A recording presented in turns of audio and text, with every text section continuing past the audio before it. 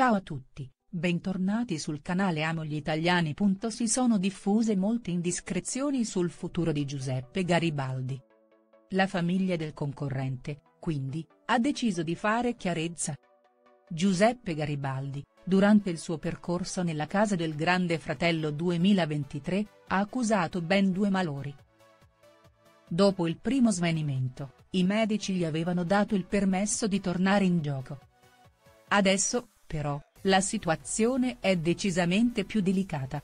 Il concorrente, infatti, ha avuto bisogno di ricorrere nuovamente all'aiuto dei dottori. Anche il pubblico aveva notato il suo deperimento fisico e il colore bianco della pelle. Al momento, ci sono molti dubbi sul suo eventuale ritorno. Il concorrente, infatti, potrebbe essere costretto ad abbandonare definitivamente il reality show. Di recente, il fratello Nicola ha deciso di intervenire per fornire maggiori dettagli sulla questione. Giuseppe Garibaldi non è ancora rientrato nella casa, le parole della famiglia. Giuseppe Garibaldi ha un seguito non indifferente su social network. Sono tantissimi i fan che credono in lui e che vogliono vederlo tornare nella casa del Grande Fratello 2023. Purtroppo, però, sta attraversando un periodo molto difficile dal punto di vista medico. Il primo malore ha spaventato tutti, ma il secondo non ha fatto altro che aumentare i dubbi.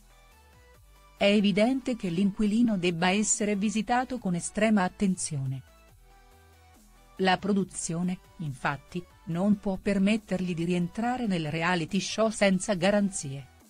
Un utente aveva inviato un messaggio a Deanira Marzano per metterla al corrente delle condizioni di Giuseppe Garibaldi.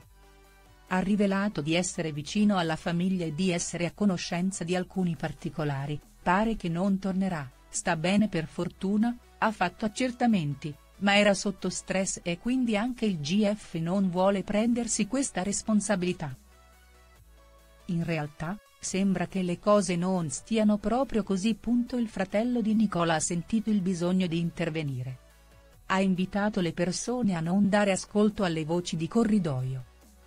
Il 30enne, al momento, si trova sotto osservazione in modo da poter eseguire tutti gli accertamenti del caso, diffidate di questi amici di famiglia, conoscenti e quanto altro.